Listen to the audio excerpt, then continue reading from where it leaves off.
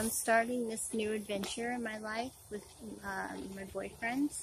I hate calling him that because I feel like it's not important enough, but um, we're still getting to know each other. I had to move in kind of quick, so we're dealing with that. But um, he loves Gomez. He's madly in love with him, and Gomez is like obsessed with him. Um, and it's just you know it's a it's a learning curve, but we both set, suffer from similar mental illness, so we we know what to expect and how to treat each other.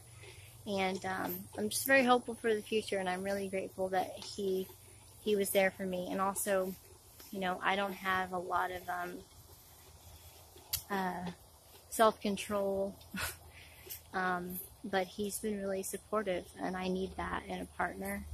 And I'm grateful, and it, it is fast, and I don't need anyone telling me that. Uh, everything we've done has been fast, but it just feels like it's what's supposed to happen, if that makes sense. Intuitively, it feels like it, this is the right thing to do.